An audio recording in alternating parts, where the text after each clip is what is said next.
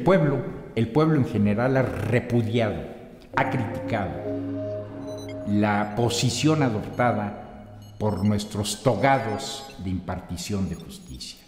¿Y por qué la crítica? Además de ser muy fundada, es muy valiosa, porque el pueblo siempre tiene la razón, como la tuvo el pueblo cuando votó por un presidente legítimo para los efectos de aplicar la ley de Juárez. Y la ley de Juárez exige sacrificios que todos los mexicanos tenemos que poner en cuenta para tomar en cuenta para sacar a México del hoyo en que nos dejaron los regímenes corruptos de los partidos políticos que antecedieron y que malograron la justicia en esta república. Esto se terminó, señores, entiendan. México es diferente a partir del voto. México ahora exige justicia transparente. México ahora exige honestidad en sus jueces, cosa que en todos no lo había.